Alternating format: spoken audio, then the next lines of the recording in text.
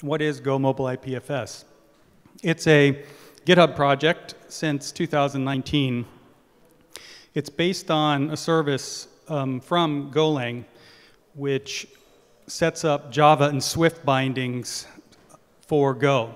So it processes all the Go code and creates all the signatures so you can call it from Java and Swift.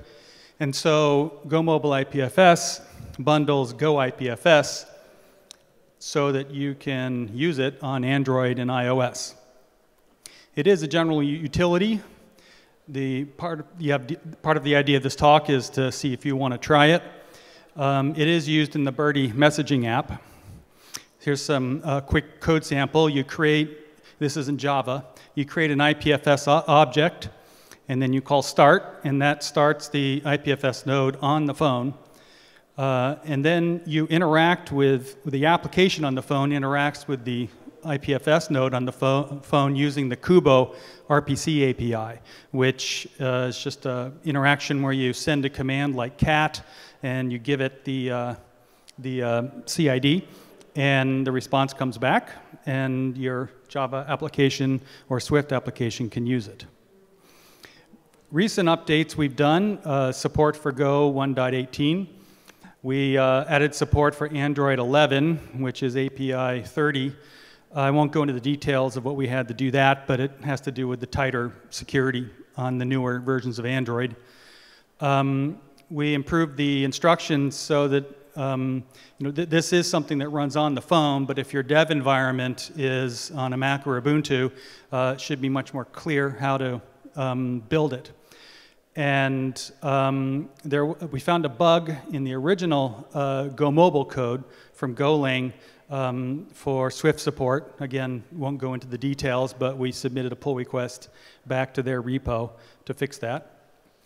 Uh, and we also added a, a, streaming API. What does that mean? Um, right now, well, previously, when you fetch an IPFS object, it has to be pulled into memory, the entire object. Um, now, uh, Fetch still uses the um, Kubo API, but um, the, the call returns an, an, input stream so that the application can create a small memory buffer and not use up uh, much memory on the phone, which is uh, expensive. And for example, um, you could use send to file, so you could fetch uh, an IPFS large object and save it to the phone without um, using up too much memory. What's next? Well, we want to make pre-built packages for Android and iOS and distribute those th through the usual channels so you don't have to build it yourself. We want to support Go 1.19.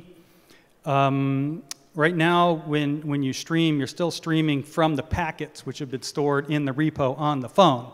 But it would be nice to be able to fetch from you know, a, a remote IPFS nodes so you could stream a large video and again, not to burden the uh, storage on the mobile. And finally, um, libp2p uh, has this cool uh, protocol handler infrastructure, and so we want to um, update Go Mobile IPFS to expose um, the set stream handler and new stream functions. And finally, uh, what's next is maybe you will give it a try. So it's a GitHub project, and there's the link. Thank you.